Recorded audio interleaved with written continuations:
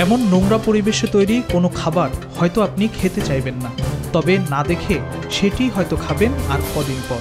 তাই দেখে নিন এই পণ্য তৈরির প্রক্রিয়া কতটা নিষ্ঠুর ও দায়িত্বহীন।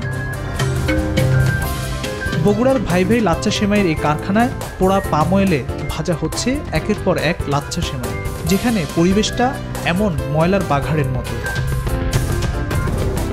শুধু বগুড়া নয় রাজধানীর পাশে নারায়ণগঞ্জ দেলপাড়ার পাপ্পু লাচ্চা সেমাই কারখানা যেখানে স্যাঁতস্যাঁতে পরিবেশে নোংরার ঘামযুক্ত হাতের কসরতে তৈরি হচ্ছে লাচ্ছার খামির।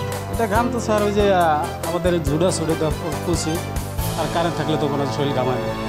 লাচ্চার সেই খামিরকে মানহীন ডালডায় চুবিয়ে রুটির মতো প্রসারিত করে ভাজা হচ্ছে বিষাক্ত পোড়া পাম অয়েলে এরপর তা কড়াই থেকে ওঠালেই হয়ে গেল তথাকথিত ঘিয়ে ভাজা মুখরোচক লাচ্চা সেমাই। পাশের আরেক এলাকার ভুতুর এক বাড়িতে ইভা লাচ্চা সেমাই কারখানায় দেখা মিলে এলাহি কাণ্ড। নোংরা স্যাঁতস্যাঁতে পরিবেশে কিছু আগেই তৈরি করা হয়েছে মানুষের মুখরোচক লাচ্চা সেমাই লাস্টার সময়টা আমরা ইয়া দিয়ে মানে ময়দা তেল ডালডা স্টার্ট পাউডার।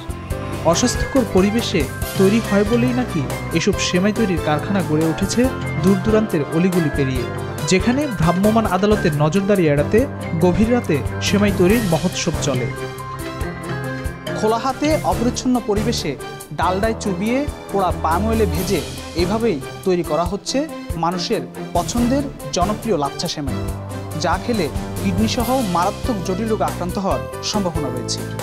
নোংরা পরিবেশ আর মানহীনভাবে তৈরি এসব সেমাই মানুষের স্বাস্থ্য ঝুঁকি বাড়াবে বলে মত এই বিশেষজ্ঞের শুধু লাচ্ছা সেমাই নয়, কারণ যে কোনো খাবারই যদি আপনি নোংরা পরিবেশে তৈরি করা হয়, তাহলে সেটা স্বাস্থ্যের জন্য অবশ্যই ঝুঁকিপূর্ণ এবং অনিরাপদ খাদ্য।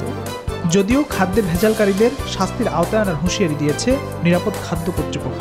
হ্যাঁ এটা আমরা স্বীকার করি যে যে লাচ্ছা সেমায় অনেকগুলো রমজানের ইফতার সামগ্রী বা অন্য খাদ্যদ্রব্য যেগুলো যেহেতু মানুষের বিশেষ চাহিদা থাকে অস্বাস্থ্যকর পরিবেশে যেমনি তেমনি এমনি এই সেমাই বা অন্যান্য ইফতার সামগ্রী প্রস্তুত করতেছে। এটা আসলে আমরা মানুষকে সচেতন করার চেষ্টা করছি এবং আইন কার্যকর প্রয়োগ করার জন্য কাজ করছি আমরা। দেশে খাদ্যে ভেজালের আগ্রাসন প্রতিরোধে জনসাধারণকে আরও সচেতন হওয়ার পরামর্শ তাদের।